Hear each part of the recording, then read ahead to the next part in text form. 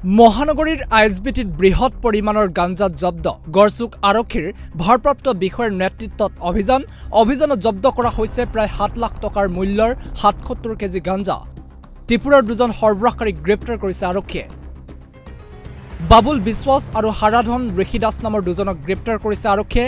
T R zero' one A U one eight nine four নম্বৰৰ truck এখনত চিটত গোপনে আনিছিল গাঞ্জাখিনি।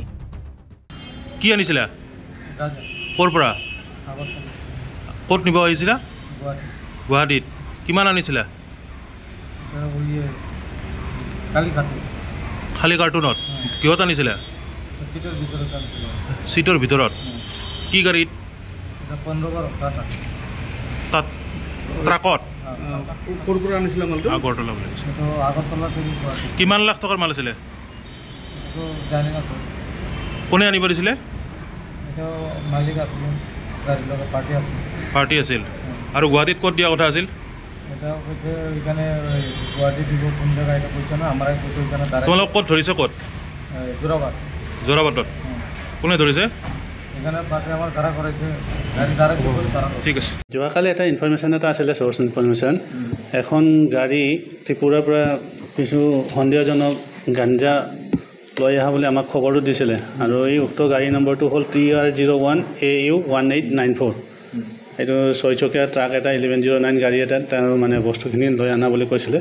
সেই সেই সংখ্যাতে আমি গধূলি আমাৰ আই এছ বি টিৰ লখৰা এই ওচৰা ওচৰতে আমি এটা পাৰ্টি এটা আমি দুটা পাৰ্টি মিলি পেলাই এছ অ' জিৰ লগত লৈ খাপ পিটি আছিলোঁ। সেইমতে ইভিনিং প্ৰায় চাৰে ছ চাৰে ছটা সাতটামান বজাত আমি গাড়ীটো ইফালে গুৱাহাটী সোমাওঁ বুলি গম পালোঁ। তাৰপিছত পৰা আমি চেক কৰাৰ পিছত প্ৰায় তেওঁলোকে চাৰে সাতটামান বজাতে আমাৰ ইয়াতে আহি পাইছে।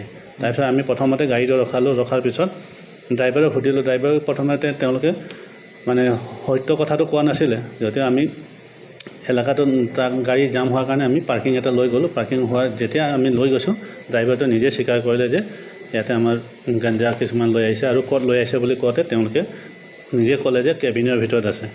তো সেইমতে আমি ৰাতিৰ ভিতৰত ৰাতিৰ ভিতৰতে তেওঁৰ নিজে আমাক ওলাই দিলে যে কেবিনটো উঠাই উঠাই ক'ত কি আছে। সেইমতে আমি ফিফটি ওৱানটা পেকেট বিভিন্ন জাতৰ বিভিন্ন ৱেইটৰ মানে পেকেট ফিফটি ওৱানটা পেকেট পোৱা গৈছে। সেইখিনি তেওঁলোকে? সেইটো ত্ৰিপুৰা আগৰতলাৰ পৰা অনা হ'ব বুলি কৈছে। আনুমানিকটো মানে ভেলুৱেশ্যনটো মই সঠিক ক'ব নোৱাৰিম বাৰু। বৰ্তমান ক'ত কি দাম চলি আছে সেইটো মই ক'ব পৰা নাই। কিন্তু তেওঁলোকে মাল আৰু আছে বুলি কৈছিলে। আমি সেইটো কাৰণে আমি আজি ৰাতিপুৱালৈকেও আমি সেইটোৰ অপেক্ষাত কৰি আছিলোঁ। কিন্তু বৰ্তমানলৈকে কিন্তু আহি পোৱা নাই। গতিকে আমি এতিয়া এই যিটো ড্ৰাইভাৰ আৰু হেণ্ডিমেনখিনি এতিয়া তেওঁলোকক এৰেষ্ট কৰা হৈছে তেওঁলোকে আজি কেছ লোৱা হৈছে আৰু তেওঁলোকক মহামান্য আদালতত প্ৰেৰণ কৰা হ'ব।